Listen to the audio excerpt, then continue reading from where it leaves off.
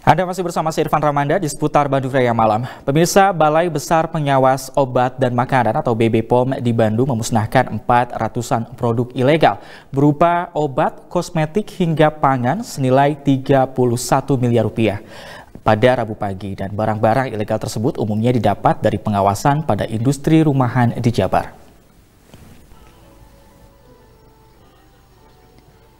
Inilah beberapa produk ilegal yang diamankan Balai Besar Pengawas Obat dan Makanan atau BBPOM di Bandung pada tahun 2020.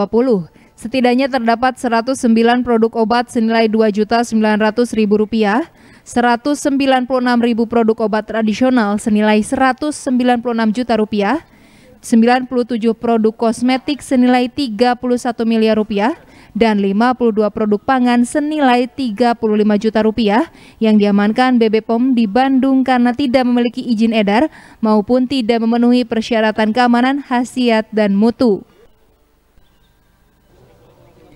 Untuk melindungi masyarakat dari peredaran produk kesediaan farmasi dan pangan ilegal tersebut, BB POM memusnahkannya. Pemusnahan dilakukan secara simbolis di BB POM di Bandung Rabu pagi.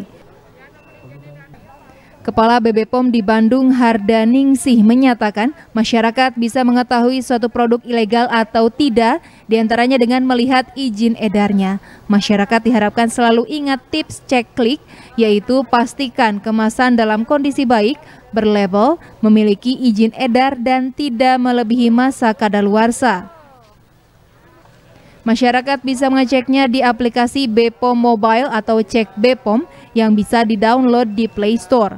Selain itu, secara kasat mata, masyarakat pun bisa melihat jika produk tersebut memuat gambar vulgar hingga menuliskan kata-kata yang berlebihan. Nah, untuk masyarakat itu untuk pembelian mau online maupun uh, offline ya sama aja gunakan cek klik ya. Cek klik itu cek kemasan, cek label, cek izin edar dan cek kadaluarsa. Pastikan bahwa produk itu ada uh, nomor pendaftarannya atau nomor izin edarnya. Caranya gimana untuk ngecek? Itu tadi juga ada, tapi kenapa ini ini di ini ya karena ini palsu. Nah, caranya ngecek gimana? Di Badan POM ada aplikasi namanya BPOM Mobile. Nah, itu bisa di-download di uh, uh, uh, Play Store ya, download. Uh, kemudian uh, itu bisa dilihat dimasukkan datanya. Ada dua aplikasi, satu BPOM Mobile atau cek BPOM sama masukkan data kalau tidak keluar berarti itu kalau data tidak keluar berarti itu palsu. Hmm.